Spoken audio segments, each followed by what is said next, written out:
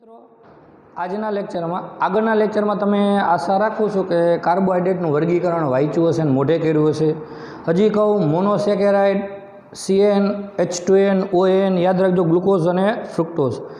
ડાયસેકેરાઇડ ટ્રાયસેકેરાઇડ ટેટ્રાસેકેરાઇડ એમાં ડાયના ઉદાહરણ યાદ રાખજો. સુક્રોઝ, છેલ્લી વાર બોલું, ગ્લુકોઝ અને ફ્રુક્ટોઝ મળે. માલ્ટોઝ, ગ્લુકોઝ પ્લસ ગ્લુકોઝ મળે અને લેક્ટોઝ, ગ્લુકોઝ પ્લસ ગેલેક્ટોઝ મળે. બરાબર? પછી ટ્રાયસેકેરાઇડ બુકમાં નથી આપ્યા, પણ મેં તમને માત્ર જાણ માટે કીધું હતું, રેફિનોઝ લખી શકો ને ઓમાં સ્ટેચ્યુઓસ ટેટ્રાસેકેરાઇડમાં. હવે આજે એનાથી આગળ એક ટોપિકની ચર્ચા કરીએ, નાના એવા શર્કરા એનું નામકરણ કઈ રીતે થાય? શર્કરાનું તો ધ્યાન. હવે આલ્ડિહાઇડ અને કીટોન બે સમૂહ શર્કરાની અંદર હોય. જો આલ્ડિહાઇડ સમૂહ હોય, આલ્ડિહાઇડ. આલ્ડિહાઇડ સમૂહ. એટલે કે સી એચ ઓ અને કીટો સમૂહ હોય કીટો. એટલે કે સી ઓ વિદ્યાર્થી મિત્રો, આલ્ડિહાઇડ હોય તો આલ્ડો બોલાશે. નામ કે પૂર્વક તરીકે લખાય આલ્ડો. અને કીટોન સમૂહ હોય તો કીટો. અને શર્કરા છે શર્કરા એટલે ઓ ઝ પ્રત્યે લાગે એટલે આલ્ડો ઝ પણ લખી શકો અને કીટો ઝ પણ લખી શકો. હવે એનાથી આગળ ધ્યાન.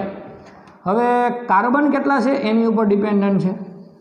બે પણ હોય, ત્રણ પણ હોય, ચાર, પાંચ, છ. આ બધાના નામ આવડે છે ભાઈ. બે હોય તો ડાય કહેવાય. સાહેબ, આને તો બાય પણ કહેવાય. હા બાય કહેવાય, પણ બાય નથી લખવું. આપણે ડાય લખજો. હાલો, ત્રણ. તો ટ્રાય ચાર, તો ટેટરા પાંચ, તો પેન્ટા અને છ, તો હેક્ઝા. હવે ખાસ ધ્યાન, જો એ શર્કરા હોય, એ શર્કરા તો મેં તમને કીધું શર્કરા એટલે સ્વાદે ગઈ જેની પાછળ ઓઝ પ્રત્યે આવે, ઓઝ, ગ્લુકોઝ, ફ્રુક્ટોઝ, લેક્ટોઝ. તો એમ, ડાય વત્તા ઓઝ એટલે શું બનશે વિદ્યાર્થી મિત્રો? તો કે ડાયોઝ. ટ્રાય વત્તા ઓઝ. ટ્રાયોઝ. એટલે હું અહીંયા બાય નહોતો બોલ્યો. બાકી કહે બાય વત્તા ઓસ તો કે બાયોઝ ધ્યાન દેવાલો ટેટ્રા વત્તા ઓસ, ટેટ્રોઝ. પેન્ટા વત્તા ઓઝ પેન્ટોઝ. હેક્ઝા વત્તા ઓઝ હેક્ઝોઝ. હવે તમને એમ થાય કે સાહેબ, આ બધું અમને કેમ કીધું? તો આ બધું ધ્યાન એમસીક્યુમાં પૂછી શકે આ ટોપિક. હવે ધ્યાન. તમને પૂછે ત્રણ કાર્બન અને એક આલ્ડીએટ સમૂહ. ધરાવતી શર્કરાનું નામ. બીજો પ્રશ્ન એમ પૂછે કે પાંચ કાર્બન અને એક કીટોન સમૂહ ધરાવતી શર્કરા ચલો. હવે વિદ્યાર્થી મિત્રો, ત્રણ કાર્બન અને એક આલ્ડિહાઇડ હોય તો નામ વિચારો. ત્રણ કાર્બન તો અહીંયા ધ્યાન ત્રણ કાર્બન તો ટ્રાય અને શર્કરા એટલે ટ્રાયોસ અને આલ્ડીએડ છે. તો આલ્ડીએડ હોય તો શું લખાય? આલ્ડો હજી બોલ્યો, આ આલ્ડો અને કીટો પૂર્વક તરીકે લાગે. પૂર્વક એટલે પહેલાં. તો આલ્ડીએડનો આલ્ડો લખો. તો આલ્ડો અને ત્રણ કાર્બન એટલે ટ્રાય વત્તા ઓઝ એટલે વિદ્યાર્થી મિત્રો, આનું નામ થયું આલ્ડો ટ્રાયોઝ આ એમસીક્યુમાં પૂછી શકે. હવે એમ પૂછે, પાંચ કાર્બન અને એક કીટોન સમૂહ ધરાવતી શર્કરા. ચલો, એનું નામ. કીટો એટલે કીટોન સમૂહનો કીટો પૂર્વક એટલે પહેલાં પાંચ કાર્બન, પાંચ એટલે પેન્ટા અને શર્કરા છે એટલે ઓઝ લાગે એટલે પેન્ટોઝ. તો આને કહેવાય કીટો પેન્ટોઝ. ચલો, એનાથી હજી એક આપીએ. ચાર કાર્બન અને એક આલ્ડીએટ સમૂહ. ધરાવતી શર્કરા અથવા સેકેરાઇડ. ચલો કીટોન કે આલ્ડીએડ તો કે આલ્ડીએડ આલ્ડીએડનું પૂર્વક શું લાગે તો કે આલ્ડો. તો પહેલાં લખી નાખો આલ્ડો. આને ચાર કાર્બન, ચાર કાર્બનને ટેટ્રા વત્તા ઓસ તો કે ટેટ્રોઝ.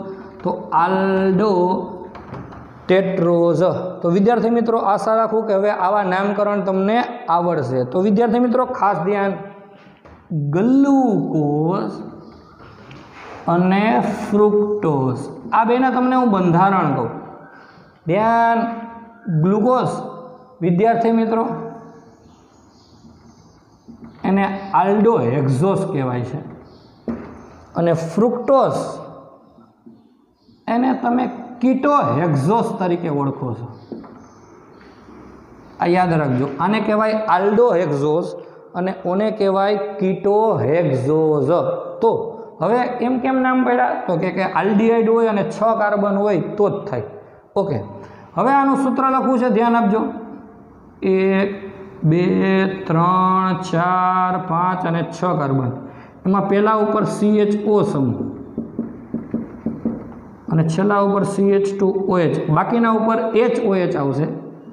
H O H O H H H O H H O H આ એનું સૂત્ર છે. આની સાબિતી નેક્સ્ટ લેક્ચરમાં આપણે ભણશું. બાકી અત્યારથી મેસવાળાને પેટમાં દુખવા માંડ્યો કે સાહેબ આમાં કેમ એક ઓએચ અન્ય કરતાં વિશિષ્ટ છે? આ બાજુ મૂકો. આમાં કેમ આલડીઆઈ છે? કેમ આવું છે? હજી બોલું, આની સાબિતી આપણા સિલેબસમાં છે. એટલે આના પછીના લેક્ચરમાં ભણશું. આ તો આપેલું એમિલ ફિશરે આપેલું બંધારણ છે. આ જ રીતે વિદ્યાર્થી મિત્રો ફ્રુક્ટોઝનું સૂત્ર દોરવું હોય તો સી એચ ટુ હોય છે સી ડબલ બોન ઓ, ત્રીજો કાર્બન, ચોથો કાર્બન, પાંચમો કાર્બન ને છઠ્ઠો. આ બે જ ફેરફાર થશે બાકીનું એઝ ઇટ ઇઝ એ મેથ્સ આ પાંચ પાંચ વાર દોરજો તો આવડશે અને મારા જેવા જે ચાર જણા છે, એને તો દસ દસ વાર દોરજો એમાં ગણિતવાળા જે બે જણા છે એ ખાસ ધ્યાન. હાલો. વિદ્યાર્થી મિત્રોને આલ્ડો કેમ આપ્યો તો આલ્ડીએટ છે છ કાર્બન છે. જોઈ લો, એક, બે, ત્રણ, ચાર, પાંચ અને છ. અને આ જોઈ લો, છ કાર્બન. બરાબર અને કીટોન સમૂહ છે? એટલે કીટો એક્ઝોસ વિદ્યાર્થી મિત્રો, મેં તમને આ બેના અણુસૂત્ર કીધા હતા C six H twelve O six તો જોઈ લો કાર્બન છ. હાઇડ્રોજન બાર, આ એક. અહીંયા બે એટલે ત્રણ, બે પાંચ, બે સાત ને બે નવ, દસ અગિયાર ને એક બાર. ને ઓક્સિજન છ. એક, બે, ત્રણ, ચાર, પાંચ અને છ. આમાં પણ તમે ગણી શકશો. આ જ રીતે બનશે. તો વિદ્યાર્થી મિત્રો, આ રીતે તમને પૂછે કે ગ્લુકોઝનું બીજું નામ તો કે આલ્ડો એક્ઝોઝ એટલે કીટોઝનું બીજું નામ તો કે કીટો એક્ઝોઝ તો આ શર્કરાના નામકરણ માટે એની રીત થઈ. હવેનો ટોપિક છે, બુકની અંદર આપેલો પ્રશ્ન, ગ્લુકોઝ એની બનાવટ અને બંધારણની સાબિતી. એ આપું એ પહેલાં મારે તમને થોડુંક ઓર્ગેનિક વિદ્યાર્થી મિત્રો શીખવાડવું પડશે. એની મારે એમાં જરૂરિયાત આવે. તો આ બાજુ ધ્યાન આપજો. થોડી ઘણી ચર્ચા કરીએ એ પહેલાં હા, એક વખત નજર કરી લેજો નામકરણમાં. હવે વિદ્યાર્થી મિત્રો, ગ્લુકોઝ એની બનાવટ અને બંધારણની સાબિતી એ હવે નેક્સ્ટ લેક્ચરમાં જોશું. એ પહેલાં મારે આ ઓર્ગેનિક જે તમે હેલો આલ્કેન હેલો એરિન નામનું ચેપ્ટર છે, દસમું, અગિયારમું આલ્ડિએટ આ alcohol phenol ether aldehyde ketone carboxylic acid એમાં અમુક પ્રક્રિયાઓ છે અને આની અંદર એના સીધા નામ આપ્યા છે. એટલે સૌથી પહેલાં હું તમને એની થોડી ઘણી ચર્ચા કરી દઉં તો આ બાજુ ધ્યાન આપજો. હવે વિદ્યાર્થી મિત્રો, ટોલેન્સ કસોટી. એક એવું નામ આવશે. અને એક નામ આવશે ફેલિંગ કસોટી. તો આ કોની પરખ માટે વપરાય? તો કે વિદ્યાર્થી મિત્રો, આલ્ડીહાઇડ હોય ને આલ્ડીહાઇડ? એની પરખ કસોટી છે. તમારી પાસે ફોર્માલ્ડીહાઇડ હોય, ફોર્માલ અથવા તમને એક દ્રાવણ આપે, કોઈ પણ હાલો, તમને કોઈ એક પદાર્થ આપ્યો, તો તમને જોઈને ખબર પડે કે આ પદાર્થ છે. એ પાણીમાં દ્રાવ્ય છે કે અદ્રાવ્ય તો કે કે નહીં? તો શું કરવું પડે તો કે એ પદાર્થને તમારે પાણીમાં નાખવો પડે. જો ઓગળી જાય તો પાણીમાં દ્રાવ્ય છે, ન ઓગળે તો એ અદ્રાવ્ય છે. તો એમ જ વિદ્યાર્થી મિત્રો કોઈ તમને પદાર્થ આપે. અને એમાં એમ પૂછે કે આમાં આલ્ડિહાઇડ સમૂહ છે? તો કે એમને એમ જોઈને તો ખબર ન પડે, તો એના માટેની આ બે કસોટીઓ છે, અગત્યની. એક ટોલેન્સ અને એક ફેહલિંગ કસોટી. તો ધ્યાન આપજો આ બાજુ. એમાં પહેલાં આપણે ચર્ચા કરીએ ટોલેન્સ કસોટીમાં શું કરવાનું હોય. વિદ્યાર્થી મિત્રો, જે પણ નમૂનો લીધેલો છે, આ બાજુ ધ્યાન આ કસનળી છે. આની અંદર આ કોઈ એક નમૂનો છે આલ્ડીએડનો નમૂનો છે. ચલો. કે જેની અંદર આલડીએટ સમૂહ હોય તો કે તમે ગ્લુકોઝ પણ લઈ શકો. પછી મિથેનાલ, ઇથેનાલ ધ્યાન આ બાજુ બધાય સમૂહ લઈ શકો. ઓકે? હવે આમાં શું કરવાનું? તો કે આની અંદર તમારે ઉમેરવાનું ટોલેન્સ પ્રક્રિયક. હવે સાહેબ આ ટોલેન્સ પ્રક્રિયક એટલે સૂત્ર માત્ર જાણ માટે લખું છું. એ જી એને શ્રી ટ્વાઇસ ઓ એચ આ સંકીર્ણ સંયોજન છે જે લેબમાં બને. એ કઈ રીતે એ નેક્સ્ટ ટાઈમ નિરાતે ચર્ચા કરશું એમાં વિગતવાર. આ તો મારે પ્રાથમિક જરૂરિયાત છે એટલે ચર્ચા કરું. આલ્ડીએડનો નમૂનો લેવાનો. એમાં ટોલેન્સ પ્રક્રિયા તમારે સીધું ઉમેરી દેવાનું. ઉમેરી અને ગરમ કરશો ને તો ખાસ ધ્યાન. અહીંયા કસનળીની અંદરની બાજુએ, અહીંયા કસનળીમાં અંદર ચાંદી જેવો ચડકાટ જોવા મળે. એ ચાંદી આમાંથી એજી મૂક હજી બોલવું. ચાંદી નથી હો. પણ ચાંદી જેવો ચડકાટ ઉત્પન્ન કરે એ આ એજી ઉત્પન્ન થયું હોય એમાં. તો હજી બોલું, અહીંયા કસનળીની અંદરના ભાગમાં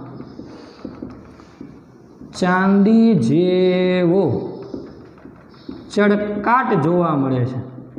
તો વિદ્યાર્થી મિત્રો, જે ચાંદી જેવો ચડકાટ જોવા મળે ને એ આલ્ડિએટ સમૂહની હાજરી સૂચવે કે એમાં આલ્ડીએટ સમૂહ હોય ને તો જ એ ચાંદી જેવો ચળકાટ આપશે. તો આ ટોલેન્સ કસોટી છે. હવે આવી જ એકદમ સહેલામાં સહેલી બીજી ફેહલિંગ કસોટી. એ પહેલાં ફરીથી આપણે એક વખત ભણી લઈએ ધ્યાન. આલ્ડીએટની પરખ કરવી હોય તો બે કસોટી છે, ટોલેન્સ અને ફેહલિંગ. તો એમાં પહેલાં ટોલેન્સમાં શું કરવાનું? તો કસનળી લેવાની. એમાં તમારે આલ્ડિહાઇડનો નમૂનો નાખી દેવાનો. કે ગ્લુકોઝ હોય કે મિથેનાલ ઇથેનાલ પ્રોપેનાલ. ટૂંકમાં આલ્ડિહાઇડ સમૂહ હોય એવું દ્રાવણ લેવાનું. એમાં તમારે ટોલેન્સ પ્રક્રિયક ઉમેરવાનું. એ બનાવવામાં આવે, લેબમાં એ બની જશે. એ જે એને થ્રી ચોઈસ હોય. ટોલેન્સ પ્રક્રિયક ઉમેરી દઉં અને એને કસનળીને ગરમ કરશો ને, તો એક કે બે મિનિટમાં ગરમ થઈને કસનળીની અંદરની બાજુએ ચાંદી જેવો ચડકાટ આવે, જે આલ્ડિહાઇડની હાજરી સૂચવે છે. અને ફેહલિંગમાં તો કે એ તો એકદમ હેલું છે. આ આલ્ડીએડનું કોઈ પણ દ્રાવણ, આ દ્રાવણ. એમાં તમારે સીધું ફેહલિંગ દ્રાવણ તો લેબમાં તૈયાર જ હોય છે. ફેહલિંગ દ્રાવણ ઉમેરી દેવાનું. બરાબર? એ ઉમેરી દો એટલે આની અંદર વિદ્યાર્થી મિત્રો લોહી જેવા લાલ અવક્ષેપ આવે. માત્ર જાણ માટે કવિ ક્યુપ્રસ ઓક્સાઇડ ના આવે. સીયુ ટુ ઓના લોહી જેવા લાલ અવક્ષેપ, આ અવક્ષેપ આવે તો તમે કહી શકો કે એ આલડીએડની હાજરી સૂચવે છે. તો ધ્યાન આપજો, આ બે કસોટી ટોલેન્સ અને ફેહલિંગ આલડીએડની પરખ માટે વપરાય. એની વિગતવાર ચર્ચા આપણે આલડીએડ કિટોન અને કાર્બોક્સિલિક એસિડમાં ચર્ચા કરશું. એક વખત નજર કરી લો આની અંદર. વિદ્યાર્થી મિત્રો, હવે કેટલીક રાસાયણિક પ્રક્રિયાઓ જોઈ લઈએ. ધ્યાન આપજો. હવે આ પ્રક્રિયાઓ પણ આલ્ડીએટ કીટોન અને કાર્બોક્સિલિક એસિડમાં જ આવશે અને આલ્કોહોલ, ફિનોલ ઇથોલવાળા ચેપ્ટરમાં આવશે. વિદ્યાર્થી મિત્રો, અહીંયા કોઈ પણ આલ્ડીએડ લેવામાં આવે ને કોઈ પણ આલ્ડીએડ અને એમ કહેવામાં આવે કે એનું ઓક્સિડેશન કરવાનું છે. નામ સાંભળ્યું છે, ઓક્સિડેશન, રિડક્શન બધાય. તો આલ્ડીએડનું રૂપાંતર કાર્બોક્સિલિક એસિડમાં થઈ જશે. આ યાદ રાખજો. હજી બોલું છું, આ બધું આગળના લેક્ચરનો આ નોંધ છે. નોંધ એટલે કે પરીક્ષામાં નહીં પૂછાય, પણ ગ્લુકોઝના બંધારણની સાબિતીમાં મારે આની જરૂર પડશે. હવે વિદ્યાર્થી મિત્રો, પ્રાથમિક આલ્કોહોલ લ્યો. પ્રાથમિક આલ્કોહોલ એટલે વન ડિગ્રી હોય છે એનું ઓક્સિડેશન કરવામાં આવે. તો પણ કાર્બોક્સિલિક એસિડ જ બનશે. પણ યાદ રાખજો, અહીંયા પ્રબળ ઓક્સિડેશન કરતા ઉપયોગ કરવાનો નિર્બળ હોય તો પહેલાં આલ્ડિહાઇડ બનશે. માત્ર જાણ માટે કહું, તમે નિર્બળ લેશો કોઈ પણ પ્રક્રિયા તો પહેલાં આલ્ડિહાઇડ બનશે. બરાબર? ઓકે. ત્રીજી કસોટી, ખાસ ધ્યાન આપજો. હવે આ આલ્ડિહાઇડ અથવા તો કીટોન છે, એની કસોટીઓ છે, એટલે આપણે અહીંયા લખીએ. કાર્બોનિલ સમૂહની કસોટી ધ્યાન. વિદ્યાર્થી મિત્રો, આ કાર્બોનિલ છે. અમારે આલડીએડ લખવું શું કર્યું તો કે અહીંયા એ આર મૂકીને અહીંયા એચ મૂકી R C H O aldehyde થઈ જાય. અને બે જગ્યાએ આર મૂકું તો એ કીટોન થઈ જાય. ધ્યાન. આની હાઇડ્રોજન સાયનાઇડ સાથે પ્રક્રિયા કરો.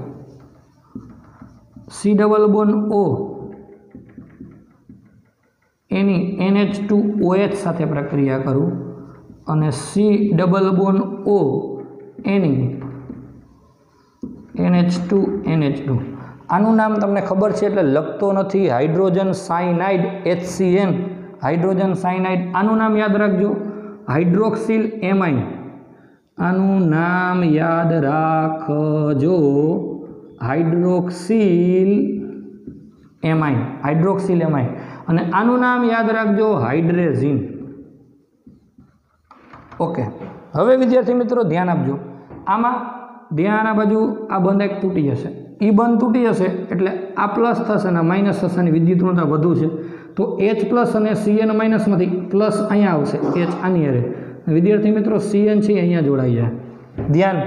આ કાર્બોનિલ સમૂહ છે, એની હાઇડ્રોજન સાયનાઇડ સાથે પ્રક્રિયા કરો. એચ સીએન એટલે બંધ તૂટશે પાઈ બંધ.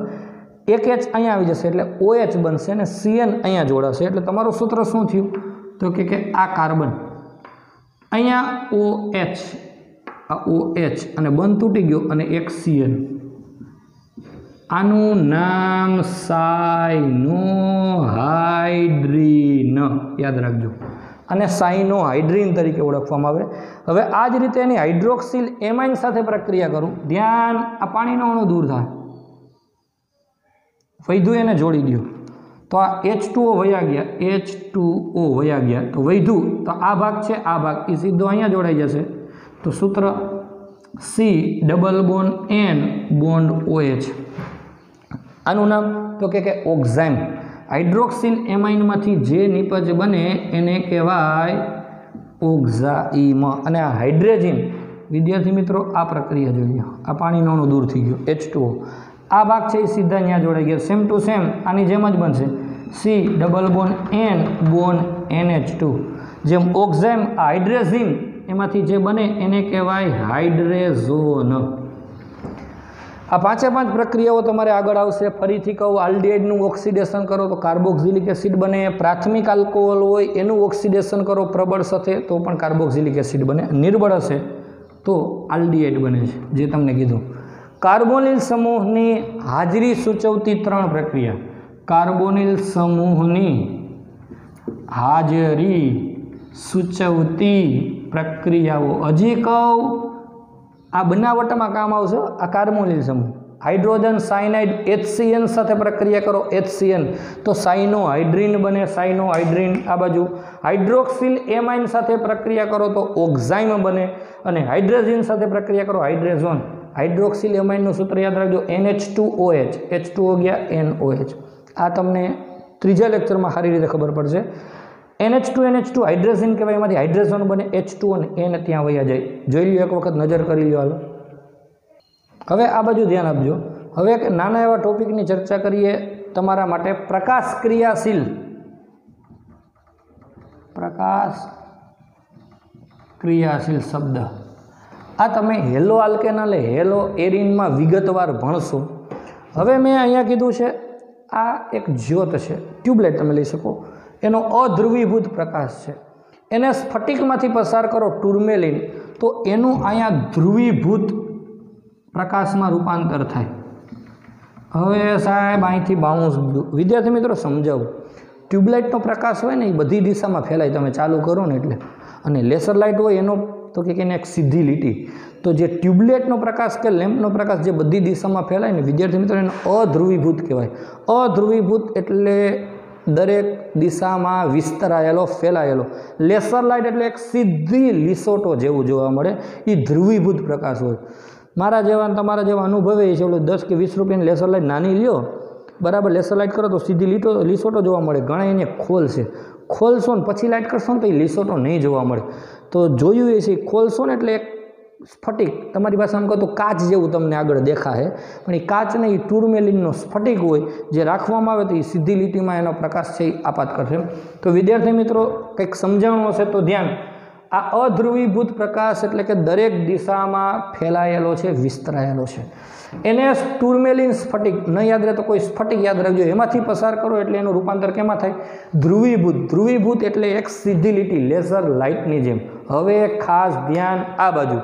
વિદ્યાર્થી મિત્રો, આ ધ્રુવીભૂત પ્રકાશને તમારે પોલેરીમીટર ટ્યુબમાંથી પસાર કરવાનો છે. ધ્યાન. આ વિદ્યાર્થી મિત્રો પોલેરીમીટર ટ્યુબ છે. Polarimeter tube. પોલેરીમીટર અથવા પોલારીમીટર પણ લખાય. હવે ધ્યાન. હવે આમાં તમારે એક પદાર્થ લેવાનો આવશે. આ એક પદાર્થ છે.